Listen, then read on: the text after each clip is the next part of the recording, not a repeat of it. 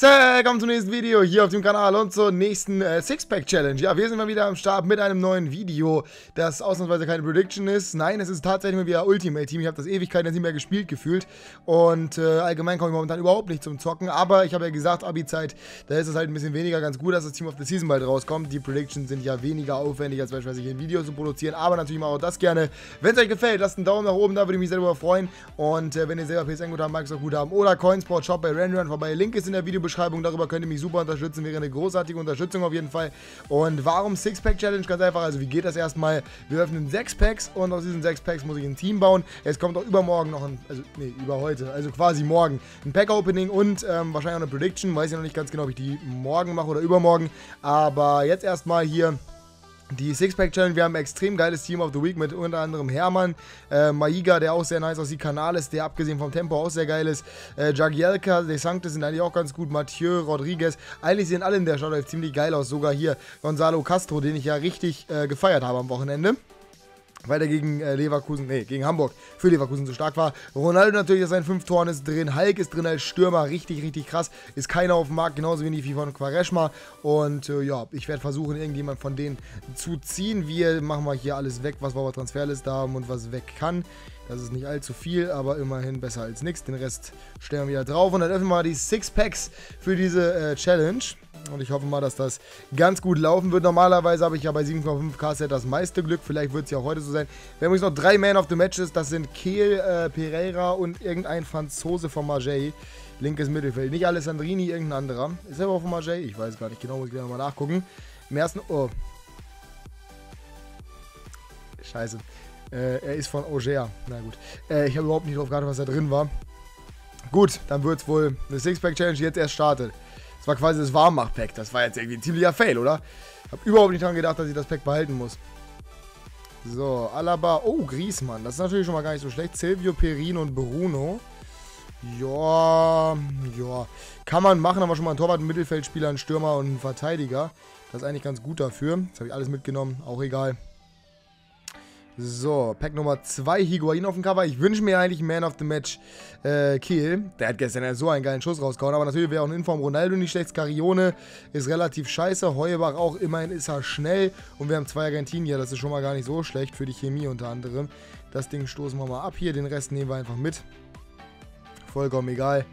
Dann diskarden wir den Yashin und kommen zum dritten Set. Auch wieder mit Hagi, mit Hagi Higuain auf dem Cover, genau.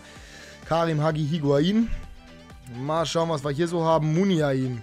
Ja, das ist nicht ganz so geil, denn äh, Muniain brauche ich ja nicht, wenn ich einen äh, Griezmann habe. Und Innenverteidiger, ein Torwart. Das ist nicht so ideal, aber ein zentraler Mittelfeldspieler, das geht von daher. Muniain habe ich im Verein, deswegen nehme ich den jetzt nicht mit. Viertes Set mit Antoine Griezmann, gerade gezogen. Vielleicht bringt er mir jetzt äh, Ronaldo in Inform.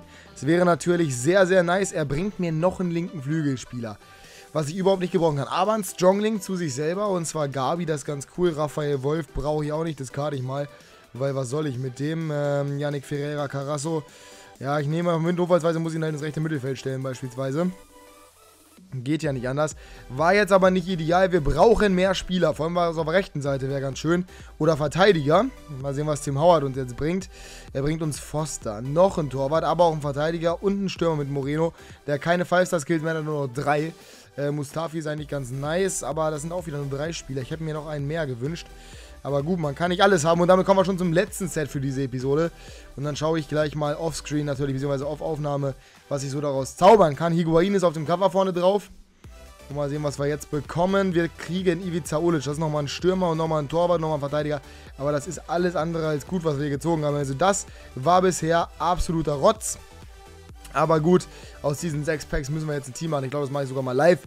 Warum eigentlich auch nicht? So, wir müssen wahrscheinlich Dreierkette spielen, weil wir haben, glaube ich, keinen Linksverteidiger. Wir haben Silvio gezogen, aber Innenverteidiger, was haben wir denn da gehabt? Wir hatten Mustafi, wir hatten diesen, ähm, was war er denn? Was war er denn? Hier, äh, Heubach, genau. Und wir hatten, haben wir noch irgendwas Vernünftiges gezogen? Ich glaube sogar nicht.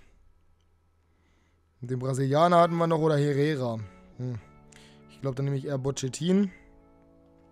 So. Torwart, was hatten wir da? Äh, Foster, Zoe, Perin, Fagner. Ich nehme das für die Chemie am besten. Ähm, zentral hatten wir Gabi. Vielleicht nehmen wir mal 3-4-2-1 besser.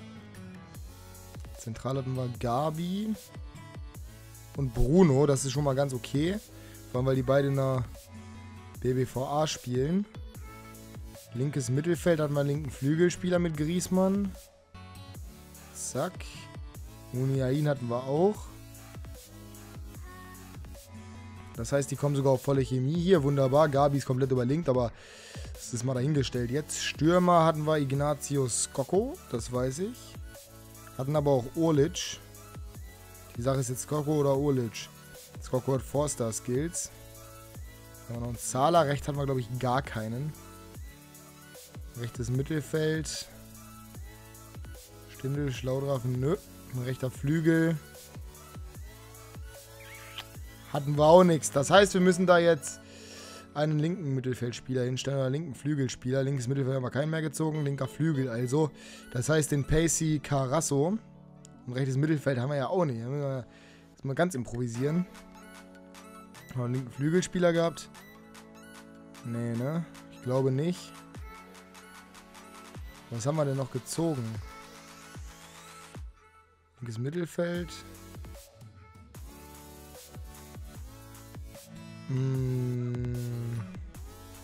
Cointrao habe ich aus dem Livestream, ja. Aber das hilft mir jetzt auch nicht weiter.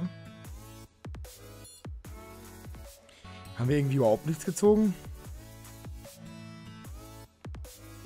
Bin gerade ein bisschen verwirrt. Habe aber schon eine Idee für einen Notfall. Sertic könnte man jetzt da hinstellen. Der würde sogar ein bisschen Chemie bekommen. Aber auch nicht viel. Zwei. Ja gut. Wie sieht's aus mit Silvio? Auch zwei. Weil dann kriegt Carasso nur eins. Und so viel schlechter als, äh, so viel besser als Sertic ist er auch nicht. Von daher nehmen wir Sertic. Was soll's. Und dann würde ich sagen, suche jetzt mal einen Gegner. Das wird eine sehr, sehr spaßige Challenge. Die Defensive ist scheiße, die Offensive ist okay, zumindest die linke Seite, also viel über links spielen. Und dann wird das schon werden. Ich suche einen Gegner und bis gleich.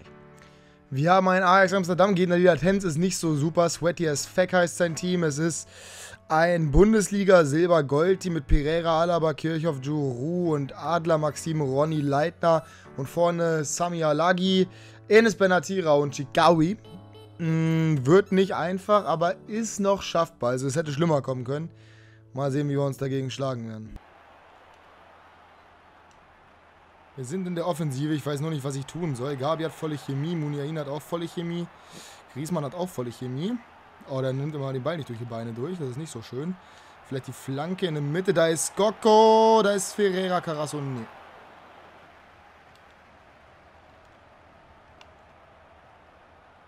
So, Muniain mit voller Chemie. Das ist Elfmeter. Das ist Elfmeter. Das heißt, unsere Chance zum 1 zu 0 war, glaube ich, mal eine klare Sache. Da rennt ihn, wer ist es? Juru im Endeffekt? Ja, Juru rennt ihn da um. Braucht man nicht mehr zu sagen. Muniain ist halt eine Fliege. Dementsprechend jetzt die Chance. Und es laggt und das nervt. Das ist nämlich gar nicht gut für Elfmeter.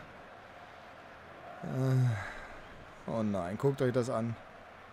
Guckt euch das an. Ich traue mich gar nicht. Okay, das ging noch. Hallo, bitte, machen rein. Hauen rein. Gott sei Dank hat er den nicht gehalten, ey. Das wäre unfair gewesen. Unverhältnismäßig auch, weil ich konnte ja gar nicht steuern. Aber gut, so macht Mustafi das 1-0. Unser Weltmeister quasi hier in dem Team. Heubach ist ja keiner. Ansonsten haben wir keinen Deutschen. Sehr schön. Der trifft. Wunderbar. 1-0. Führung. Defensiv. Abwehrriegel. Hinten rein. Ah. Griesmann am zweiten Pfosten. Das war nicht Griesmann, das war Muniain. Das ist ja mit links geschossen. Es geht weiter mit guten Chancen und guten Offensivaktionen. Wieder Muniain.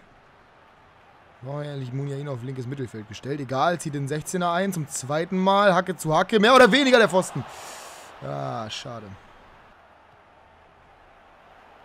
Da ist Gokko frei vom Tor. Und das 1 zu... 2 zu 0. Was? 2 zu 0. Wer war es denn? Griesmann? Ich glaube, es war... Griesmann. Oder? Nee. Ferreira Carrasso? Was macht denn der auf der Seite? Ich meine, gut, ne? ich beschwere mich nicht, aber was macht denn der auf der Seite? Egal, zwei Tore Führung, läuft doch. Die Challenge scheint gewonnen zu sein.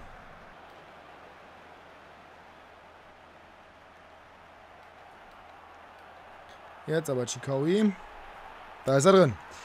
Ja, wieder über den Konter, wieder schnell. Ist einfach unmöglich, den zu verteidigen dann, weil äh, so schnell ist die Verteidigung nicht. Sie ist zwar ganz solide bisher, aber so schnell halt nicht. Und den macht er dann halt diesmal rein. Ist nicht verdient oder so, aber gut, so macht das Ganze nochmal spannend.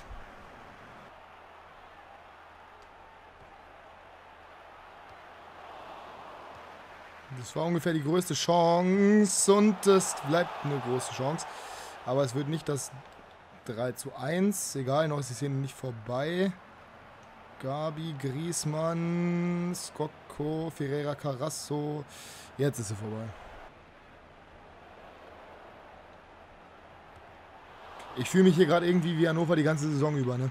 Man hat die Chance, man macht sie nicht und man kriegt ein dummes Gegentor und schwimmt dann hinten. Also ich schwimme jetzt nicht, aber... Oh, Mustafi mit der Ecke? Na gut. Äh, ich schwimme jetzt nicht, aber... Also ihr seht es ja auch an den Schüssen.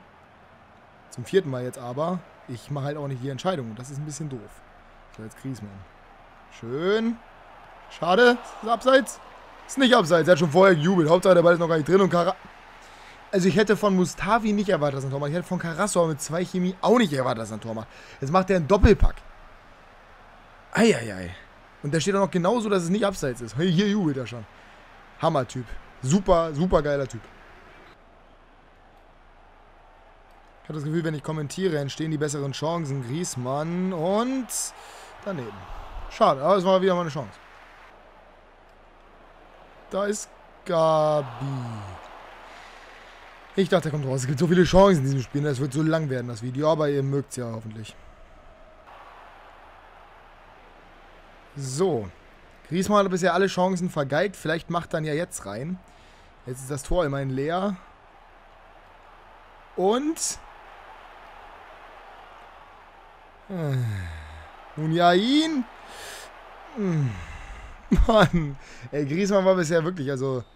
Der wollte irgendwie nicht so. Komm mal, die Ecke mit Gabi, der kann das ja. Kommt auf Mustafi oder auch nicht. Das müsste jetzt aber vorbei sein, das Spiel langsam mal. Sonst habe ich jetzt hier ganz umsonst kommentiert. Jetzt macht er noch ein Tor durch so einen scheiß Konter oder was? Total unverdient.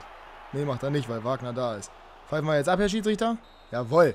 So, Sixpack Challenge ist bestanden. Wieder mal der Sieg in dieser Kategorie, beziehungsweise in diesem Spiel. Ich denke mal, das war eine relativ nice Episode. Ich hoffe, euch hat es gefallen. Wenn ja, lasst einen Daumen nach oben da. Wie gesagt, wir gucken uns ja mal die Statistiken an. Das war eine sehr überlegen geführte Partie von mir. Auch wenn ich wirklich enttäuscht bin von Griesmann. Ein bisschen auch von Muniain, weil der war auch nicht so stark. Und Carasso war mit zwei Chemie irgendwie deutlich besser als diese beiden Spieler. Aber gut, wir haben im Endeffekt gewonnen, von daher ist es egal.